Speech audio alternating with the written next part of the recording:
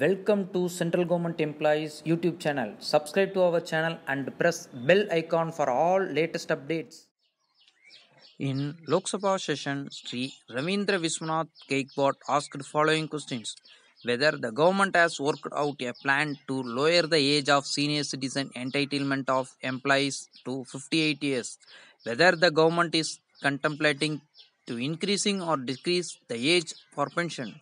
Dr. Jitendra Singh, Ministry of State in the Ministry of Personnel, Public Grievance and Pensions provided following answers in this session. Department of Social Justice and Empowerment has informed that there is at present no proposal in that department for lowering the age of senior citizen. Government employees becoming entitled to pension on retirement. There is also no proposal to increase or decrease the age of retirement of central government employees. Also, he pointed some of the salient features. After completing a 10 years of qualifying service is entitled to a pension at 50% of his last pay or 50% of average emoluments or the last 10 months, whichever is more beneficial.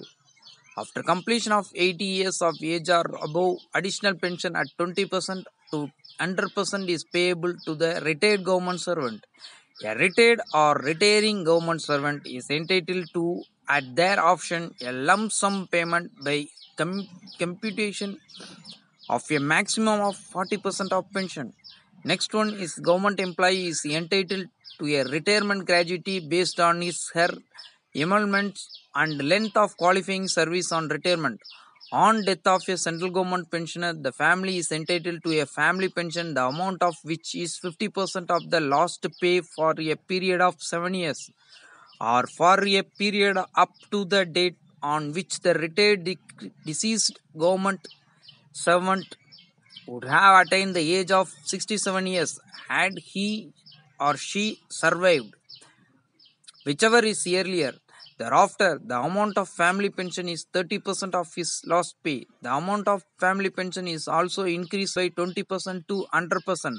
After the family pension attains the age of 80 years and above, the family of a government servant who, who dies while in services after rendered not less than 7 years continuous service is entitled to a family pension 50% of the last pay for a period of 10 years. Thereafter, the amount of family pension is 30% of his or her last pay.